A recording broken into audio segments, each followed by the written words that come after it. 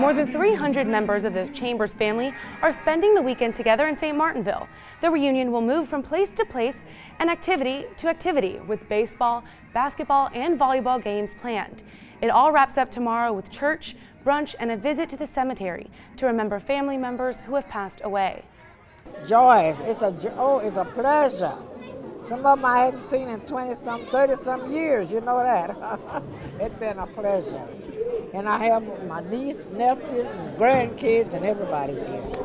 It's beautiful.